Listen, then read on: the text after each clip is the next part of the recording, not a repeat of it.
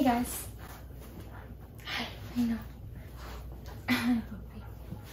Hi guys, welcome back to my channel. So today's video is going to be a puppy haul for 2021. I have a ton of stuff that is somewhat either random or things that I just think you genuinely need if you have a puppy. Um, things that I would recommend for new puppy owners or, or even if you just like spoiling your dog.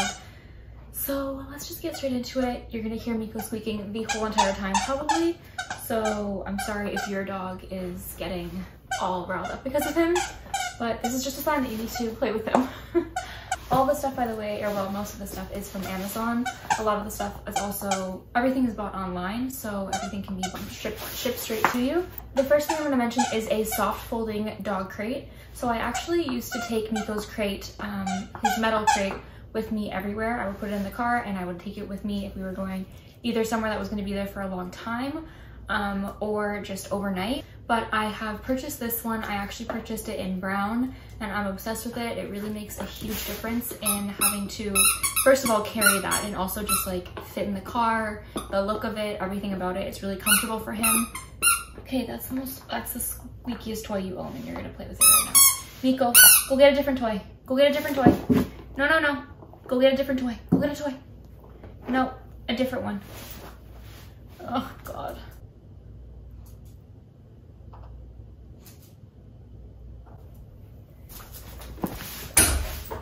Anyways, um, I really like this dog crate and I definitely would recommend it. It also just looks really nice, so even if you were just gonna get it, um, not necessarily for portable reasons, but just to have in your house, it looks a lot, a lot more aesthetically pleasing. But it looks a lot more aesthetically pleasing than the metal ones. So the next thing I'm gonna mention is a Omega. It's like this trick ball. Um, so basically it's a, almost like a Kong, but you can put some treats in it and it falls out of the side. I like the shape of this because since it is a ball, they can roll it, whereas with the Kong, it's a little bit harder for them to get it out of. The ball is definitely easier because it just rolls kind of naturally. So I would definitely recommend that. Next thing I'd mention is this, is this winter coat. I'm obsessed with this winter coat. He has another one, but I don't like it as much as this one. This one has like really soft inside lining. It fits really nicely on him. And it's also like kind of customizable as how it fits harness wise. So it almost is like a regular jacket for a dog. It has like a zipper down the middle and it comes in two different colors, I'm pretty sure. And then um, it has like a buckle across that kind of is like almost like a sewn on harness. So you don't necessarily need to put on the harness. You can just put the jacket on them and then they have a jacket and a harness in one. And it's perfect. It's definitely one of my most used items lately with him. So I would definitely recommend trying out those jackets. Next thing I'm gonna mention is this dog sweater vest. I actually let him wear this I think it was for New Year's or his birthday or something like that. I can't remember, but it's super cute. It seems comfortable, doesn't seem super itchy on them or anything like that. Um, yeah, dog clothes is always nice. Next thing I'm gonna mention is conditioner. So I wasn't someone who knew this, but it honestly makes sense thinking about it now. I was only ever aware of dog shampoo. I was only ever seeing people talk about the dog shampoos that they use or why you need dog shampoo or the reasons to use it, all that sort of thing. But I had never been aware of the actual conditioner and I've started using conditioner on Miko and it's helped him with his itching. Sometimes he itches and I feel like his itching has definitely decreased some. And I think also just especially during the winter, it can be really drying for them just as it is for us. So um, it helps keep their coat nice and soft. I think it's especially useful for dogs with long hair or like hypoallergenic dogs because their fur is similar to like human hair. So it needs the hydration, whereas like a short haired dog might have, not haired, a short coat dog might not need the the conditioner as much. Basically with this, what I do is I will put it on Miko. I use quite a bit um, and I will let it sit for about a minute or two while I just pet him and talk to him, you know, give him treats or whatever and then I rinse it off and he's left super, super soft and I feel like I like the smell of it a lot because I'm not really a fan of his shampoo. Um, I think I might have mentioned his shampoo in my first puppy haul, but it's the Burt's Bees one. I'm pretty sure it's like oatmeal or something but it honestly just smells like wet dog. Like when you wash it off of them, they smell gross. And usually like, I don't really think that Miko stinks. I maybe I'm just used to him, but I don't really think that Miko smells. But after washing him with the shampoo, I don't like the way he smells. But the conditioner smells really nice. It's like mild, but it also lingers for like a little while and I don't really find him smelling gross like that dog smell. I would recommend conditioner if you haven't tried conditioner on your dog, definitely try out this one was really good. It had a lot of good reviews on Amazon. So the next thing I'm gonna mention is a thaw mat. So if you are someone who feeds your dog raw food or you yourself just like cooking um, raw meat. I kind of got this as a two-in-one for both myself and him, but it's basically this like mat or like this um, this like tile that helps your food or your meat de-thaw not de-thaw, helps your meat or your food thaw a lot faster than it would if you just were to put it in the fridge or outside. Or you know, when you put it in like the microwave and like kind of cooks part of it and like that's just not as good for you and it's also harder. So I think using the thaw mat is definitely a lot easier. It literally takes like no time at all. So if you forget to take their food out, you can just use the thaw mat. If you forget to take your own food out, you can just use the thaw mat. I would definitely, definitely, definitely recommend this. I've been loving it lately. The next thing I'm gonna mention is this um, Biosilk waterless shampoo. It's actually funny because I, I used to use Biosilk on my own hair. I actually still have one product from them. Basically, this is just a waterless shampoo so you can use it on them in between washes just to keep them smelling nice and fresh. I honestly haven't really used it since I got the conditioner because I haven't really felt the need to. But if it's been a little while, I will definitely go in with some waterless shampoo. I think it's especially nice during the winter because if your dog, um, you know, is in snow or water or anything like that and then they come inside. Sometimes they get like they smell like wet dog you know what i mean? So if you can just use that waterless shampoo it kind of just gets rid of the smell without actually having to like deep clean them right then and there. Next thing is a piñata treat toy. So i got this for miko for his birthday and i'm obsessed with it. It literally is like a tiny little piñata i actually left it at my boyfriend's house with his dog so i can't show you guys right now but um it's basically a little pinata toy and then the middle has like a little velcro and you can stuff treats on the inside and they have to like figure their way out to get it open and then they can eat the treats.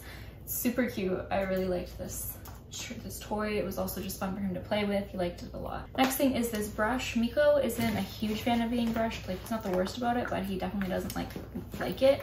But this brush definitely does a good job. I think that the um like the tips of it are coated pretty nicely so it doesn't actually scratch them it's just more comfortable and I like that the other side is kind of more of like a boar bristle so you can like smooth out the coat after brushing them and getting through the little tangles. The next thing I'm going to talk about is a Charmy box, either subscription or even just buying it like whenever you choose to. I personally don't have a subscription, but when I feel like I'm running low on treats and shoes for Miko, I'll go on Charmy box and I'll pick one of the boxes that I want to get for him. Basically, they give you a bunch of dehydrated treats and chews. So I know recently we got like pig ear, we got lamb liver, beef hearts. Um, there was like this little meatloaf thingy. Like they just give a bunch of stuff. It's all like one ingredient. It's all super good for your dog. There's nothing like, there's no gross preservatives in them or additives or anything like that. It's literally just the meat itself and it's a lot of organs. So sometimes I'll give it to Miko as treats, like certain ones you can break up and use as like training treats. And then other times I will just give it to him to chew on or I'll include it in his meal. Next I'm gonna mention, which he's actually chewing on right now. I'm obsessed with these because he's obsessed with these. I don't personally enjoy them, but basically, drop it. Basically, it's like the antler. I'm pretty sure if you have a dog, you've probably seen these antlers. I'm pretty sure everyone pretty much gets these, but excuse me, can you wait? Um, the inside of it is stuffed with a pizzle, which is basically like, I'm pretty sure a bully stick. So pretty much it just makes it a lot harder. Okay, okay, here, okay. Makes it a lot harder for them to get into it. So they have like the antler aspect of it. And then it's also just kind of more difficult for them to get into it. Whereas with the bully stick, it's obviously a lot easier. They can just chew it up right then and there. But I love this thing. I didn't really think he'd be able to actually get through it, but he had one that was smaller before this one and he literally cleared it out like the middle. Like I remember looking at it one day and like the inside was just clean. And I'm like, that's crazy. So he's taking a while. I'll show you what it looks like on the inside. So he's like got some damage on that side and then also on that side. Good boy. Um, so yeah, there's that.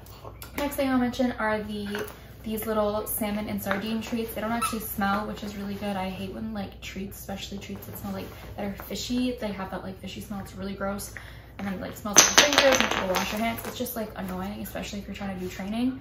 So um, these ones aren't like that. They're like a decent size. I'd say they're about this big. You could break them up into like I'd say two or three pieces and Miko seems to also, if you have a dog, especially like a raw fed dog, it's important to make sure you get some fish into their diet. I'll mention some stuff that I use in a bit, but yeah, it's really important to make sure that they get fish because the omega, no omega, I think omega 6, omega 3, I don't know, is really good for them. I honestly don't know anything about nutrients and nutrition, but um, I feel like I'm learning because of Miko, so Okay, so the next thing I'm going to talk about is actually the last thing. So there's a company called Big Country Raw and all the stuff that I'm about to mention is from, from Big Country Raw.